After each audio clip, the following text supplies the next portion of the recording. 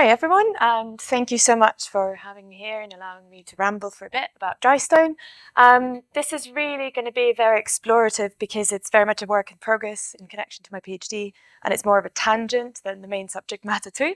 Um, I'm doing my PhD here at the University of Edinburgh, and I want to begin by acknowledging that um, this presentation benefits from my research conducted both as my part of my master's and my PhD here, uh, and the fieldwork visits and the training were funded by Abercromby Travel Fund and graduate training funds, uh, respectively. So, with that in mind, moving on to Drystone, I'm sure everyone's quite familiar with the technology. It's kind of ubiquitous um, in the UK. Seems very, very simple in the principle of it. You're just putting stones together, not using any mortar in between. There you go, you have a wall.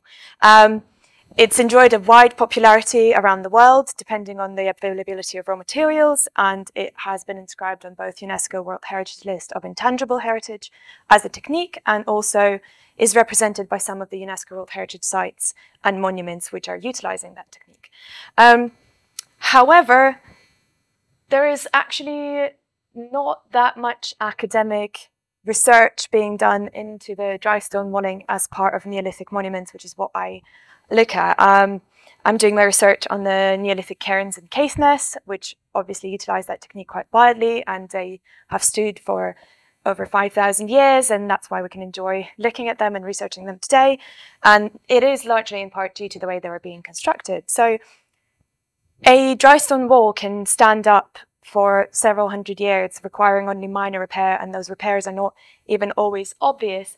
And I just wanted to quickly run through some of the basic principles of constructions that I was able to learn firsthand through the Dry Stone Walling Association's beginners course, which is a UK uh, based organization which is offering courses for both beginners and professionals. And that's how the skill is being taught today to modern practitioners. They have both a scheme to become certified, so they have um, outlined the degrees of expertise you need for a certain level of certification. But the way it's taught is basically Still a lot through participation, observation, and a little bit of instruction, but practice is kind of at the heart of learning how to become a dry stone waller, whether it's an amateur or a professional calling.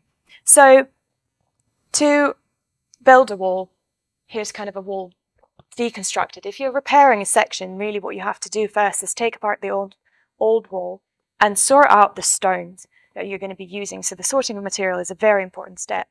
And then you move on to using the Bic stones and laying the foundation course, laying courses one by one until you come to about knee height was when you tie the two leaves of the stone together using the through stones, which are these massive slabs that you see, and you can either put just the one big one if you have it, or sometimes you use two to kind of connect, and actually that's what holds the structure together ultimately, until you move on further, um, creating um, later courses and you finally tie them all with cope stones.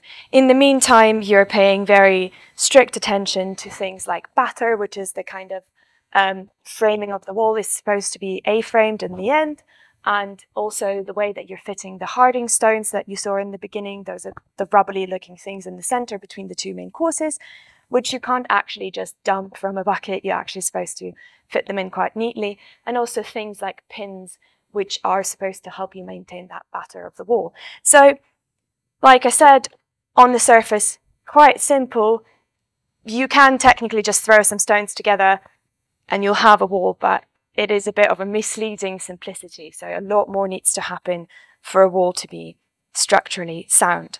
Um, with that in mind, I wanted to move on to the idea of that technology being used in the Neolithic, which was used quite extensively both here in the UK, um, in Ireland, at um, Atlantic seaboard of France, um, and many other places. So it's really important to look at it from that perspective in my mind. Um, but here in the UK, dry stone, when it comes to Neolithic monuments, is really mentioned mostly as a matter of fact thing. Um, here is a cairn, it was built using dry stone methods. Moving on to its symbolic interpretations, phenomenology, um, material cultures, proxy ways of looking at it, which are all very motus approaches in themselves, but they don't necessarily answer all the questions. Sometimes you have questions of a more technological nature about how many people and how much labor needed to go on into the construction of the monument, but it's still not really touching on the technology itself. Um, the technology is kind of just presumed, intuitive, easy, self-explanatory, um, and to an extent it is. There is some kind of exploration of the origins of dry stone walling in the Neolithic, one paper, for example, by Jones in 2015, um, kind of put forth that idea that they were drawing inspiration from their natural environment on Orkney, which these um, sea cliffs built of the old um, Devonian sandstone and Caithness flagstones kind of look like these neat stacks. And then we're seeing kind of the same picture when we go inside these tombs. Um, neat rows, looks very much the same. Obviously, um, quite a plausible and attractive narrative about how they were drawing inspiration from the natural environment and landscape. However, it still doesn't necessarily explain how they arrived at building these structures in the way that is both um, aesthetically what they were looking for and technologically sound for their purposes. Um, so my question then was, is how was this technology developing and propagating it's great that they've arrived at this style, but there should have been some level of um, knowledge transfer, um, learning, and passing down that kind of skill to ensure that we're able to build these tombs. And they're being constructed for millennia, even in the Neolithic. Um, the time span's quite broad. So to discuss that, I wanted to step back a bit and talk about community and communities of practice, which is the approach I'm going to um, adopt here today for the purposes of the discussion. So all these people are living in communities in the Neolithic, but community is a widely used term in archaeology. However, it kind of remains a little bit under theorized at times and um, very fluid, which allows a lot of exploration, but at the same time can tend to be a little bit unhelpful. Um, there's been a great edited volume done by McSweeney et al. in 2011 and they go into great detail in um, the discussion of community and archaeology and what that means. So I'm not going to ramble on too much about that. I just wanted to point out this kind of diagram of how individuals situated within the community, which is this blue, a diamondy thing, how it fits into society, kinship, and family structures, and how it also interacts with the concept of communities of practice. And an individual can belong simultaneously to many great number of these things and they don't necessarily always interlap with one another, but there is a great degree of fluidity. And I'm mostly adopting the definition um, by Cummins from a paper from 2016, which is right here on the screen, so I'm not going to go on and repeat that for the sake of time. Um, uh, however, as I've mentioned, as community is this very fluid concept that does uh, uh, depend a lot on shared experiences and shared practices, but doesn't necessarily always correspond with them with living in geographical proximity.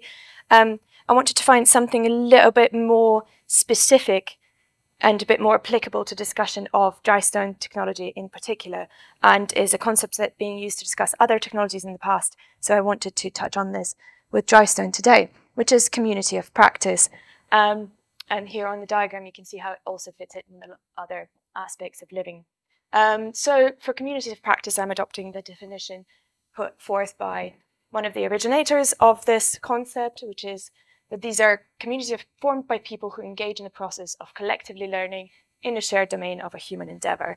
And that kind of idea of communities of practice depends on this tripartite um, kind of concept of having a joint enterprise, a shared repertoire, and a mutual engagement, and all these parts fit together to um, allow the learning, the expansion of technology, the development of it, and um, enculturation that goes along with it. So I've kind of adopted this um, diagram from Wenger to um, situate it more related uh, in relation to dry stone in particular. Uh, we have building the structures, knowledge and technique and skill that goes into it, as well as any possible apprenticeships, practices, and um, enculturation that goes together with it. And I'll briefly run through um, all of them. So, joint enterprise. Um, as far as the chamber cairns go, it's quite accepted that since they were often housed in collective and communal burials, it kind of goes hand in hand that their construction would have been a communal and collective endeavor. Um, it is common sense from the point of view of coordinating efforts that are required vis-a-vis labor, collection of raw materials, transportation, sorting the, the raw materials, and the construction itself. And it also has implications of how that necessary knowledge and skill would have been transmitted and taught, um, as well it would have, would have meant for enhancing group ties and cohesion in that process of construction. These monuments, but also constructing houses, we see dry stone houses, on Orkney from the Neolithic. Uh, ritual structures, for example, Ness of Brodgar has a wealth of these kind of structures, also built using dry stone. We also see it now in historic walls, which are also often tied to the ideas of communities or societies because they often delineate boundaries um, between plots of land, for example, in the modern landscape. So it's been a joint enterprise kind of throughout that um, time span. Um, moving on to the shared repertoire, I wanted to briefly touch on the idea of um, what kind of skills and what goes on to the learning and understanding this technology, and this idea of the use of maxims, rules of thumb, and tacit knowledge and stylistic conformity. So these ideas are still um, being explored vis-a-vis -vis the modern practice of dry stone walling and what means to learn to become a dry stone waller. There was a um, great kind of a PhD study done in 2006 by Farrer, who looked at the tacit knowledge in the modern dry stone practitioners, how they learn, how they become experts, and what that actually all means. And these kind of principles have been pointed out in the past uh, when the structures have been excavated, that a lot of them relied on using that kind of idea of rule of uh, rules of thumb. But obviously, they don't come from nowhere. They should have been taught and enculturated and passed down in this very social um, way. So one needs to learn the main principles of a structurally sound wall and embody that knowledge through extensive practice. And um, part of that is the development of regional norms or best practices that we're seeing in these monuments. Um, but we also have examples of what I've kind of labeled here as tricks or is known in the literature as um, expedient architecture and there is some discussion about whether that kind of expedient architecture that we're seeing, is it cutting corners? Is it poor skill level? Um, is it loss of knowledge? But to me, I want to propose a different idea. It seems like it could also be a sign of very accomplished, accomplished craftsmen, and I'll um, elaborate on that in a moment. But um, here's just some examples of um, you have to know the basic principles, but also know how to get around some awkward bits, for example, inserting orthostat and how you lay the courses around that irregularly shaped stone. Um, and we see different variations of that, obviously, and uh, avoiding things like running joints, which lead to structural instability. Um, and this is just an example of what may or may not be labeled as, you know, poor craftsmanship, poor structural integrity, but doesn't necessarily mean that that was actually the case. So thinking about that idea of one needs to learn all these skills from somewhere, and we have a span, even with the cairns alone, of millennia that they were being constructed over a large regional span as well. Um, I wanted to briefly touch on the idea of practice that comes up in the modern literature as well. A lot of practice is required before one can become an expert or even competent builder. So there's been a proposition by Barber from 1992 about the rate of construction of these monuments, and it comes up to about one cairn um, in Caithness and Orkney area, mostly around every 20 years. Obviously, that depends on um, the sample that we have. We might have lost some of the monuments, so that the number is not exactly accurate. But at that rate, it's a very significant event. It occurs to about once a generation. So in the meantime, how is this knowledge being preserved, transmitted, and embodied? Um, and what does it mean for the societal implications? So that's where I wanted to kind of touch on the mutual engagement aspect. So with a very low rate of reproduction compared to most other contemporary practices, such as, for example, lithics or pottery, um, some system of apprenticeship um, might have existed to me, and it's been suggested that um, there might have even been specialist engineers or craftsmen or masons. Um, and in the recent paper by Luc Laporte in France, they're kind of touching on that idea that a site might have been overseen by a more specialized person while the rest of the work is having adequate level of skill but are not necessarily engaging um, to the same degree of um, sophistication. So we so far don't really know too much, uh, in my understanding, about what those apprenticeship systems in Drystone would have looked like, whether this knowledge was widely available or restricted, uh, how formal was the relationship between instructors and trainees. But from um, other studies done in lithics and pottery, we can see that sometimes these kind of apprenticeship take um, form as part of kinship systems. They're being done in family. Sometimes they're being done by outsiders, and even um, occasionally there is a degree of retraining if a person, for example, moves to a different social group through marriage, and then they have to relearn the craft um, in the way of their new kind of community. So that's where the aspect of enculturation and social cohesion uh, comes in because it's not just the technological skill that's being passed down when we're learning something, it's also the norms and moral and aesthetic values that go together um, with that sort of craft. So with that in mind, I kind of briefly wanted to touch on the ideas of tradition and conformity, and then on the opposite side of it, innovation and non-conformity. So while we're seeing seemingly standard practices across vast geographies in terms of um, technological ways in which these dry stone walls are being constructed, uh, constructed, they're traceable both in the Neolithic and in historic and modern dry stone. It is um, not necessarily as simple as it might seem on the surface because, for example, for a modern dry stone, it's been suggested that this um, very um, simplified, uh, systematic kind of wall that we're seeing everywhere is a re relatively recent concept from about the 18th century and some of the regional diversity is being lost. So why is this regional diversity being lost? Is it loss of local knowledge? Is it related to best practice and learning what and how to make sure that we are making these enduring structures that are kind of going to stand up and be useful for the purposes we're using them? Or is it tied to the symbolic and cultural significance of the structures we're building? And on the flip side of that is the idea of innovation and nonconformity.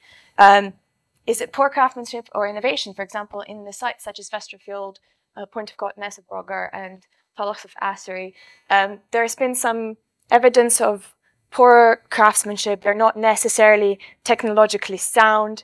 Um, there's been some collapse or evidence of um, structural kind of breakage. Um, but on the surface, they would have been very impressive and conform to the ideas of what these cairns should have looked like or what these structures should have looked like. So there's some adaptation for enlargement where they're building orthostatic boxes to um, kind of expedite the process of construction of these very massive cairns.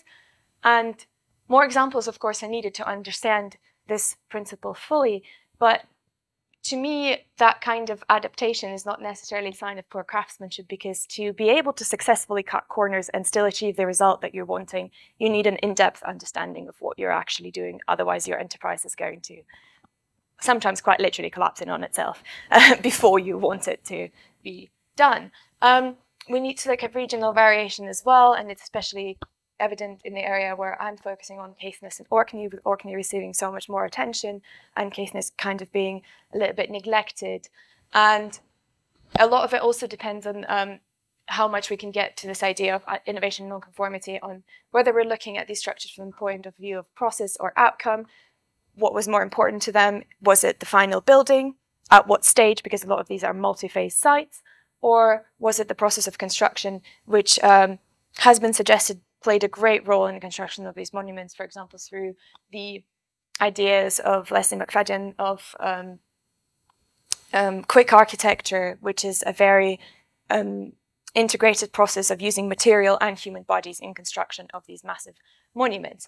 And I just wanted to point out that, at least to my mind, it's important to keep in mind that both of these outcome and process would have been obviously enculturated. So just very briefly, identifying communities of practice, specifically in Drystone, more robust excavation is needed building archaeology methods have been beneficial, as seen in the example in France by Florian Cousseau and Luc Laporte, um, have done some studies. Um, it allows us a greater understanding of the technological aspect. Um, we need to kind of step back to the local scale, regional context, um, if we want to be getting the identifying conformity, um, paying more attention to micro variations in styles, which is common in lithics and pottery, but not so much in these um, larger structures necessarily. And also, uh, to me, that's a very interesting question of identifying these tricks and adaptations for the expediency of architecture and how you can successfully cut corners, so to speak. Um, and um, as far as pottery and lithics go, for example, there's been a lot of ethnographic and ethnoarchaeological parallels drawn, so I think that could be very beneficial for the study of dry stone as well. Um, why is it relevant? These are just some examples of better understanding of the practices of the past leads to better understanding how we can manage these monuments in the future. For example, this is example of um, one of the Camster cairns that was reconstructed in the 80s, and that reconstruction is kind of being questioned a lot in the um, applicability to this particular site. Um, it's still dry stone, but it looks a little bit odd in the context of the site itself.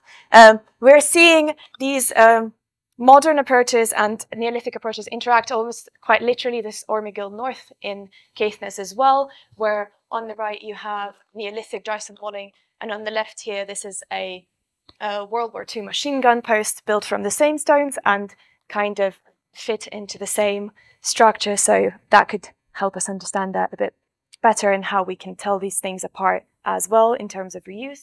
So in lieu of conclusion, um, just to wrap up, implications of knowledge transmissions mechanism obviously go beyond just understanding of technology. It helps us understand identity and culture. More studies on the how of prehistoric dry stone are needed and not just on the tensile strength of the stones or similar structural implications alone, which is quite popular nowadays. And uh, more robust methodologies needed for further research into the prehistoric communities of, dry, dry, of practice in specifically um, regards to dry stone. And that could also help us answer the question of where have all the dry stone gone from, where did the sites go if there are more of them, and kind of where did the practice kind of die down and disappear because it's now just part of the vernacular more so than formal architecture. And with that, I just wanted to say thank you for having me and allowing me to ramble on.